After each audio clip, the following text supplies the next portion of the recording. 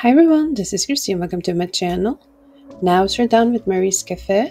We're gonna start with Bob's Bookstore and it's gonna be built right about here.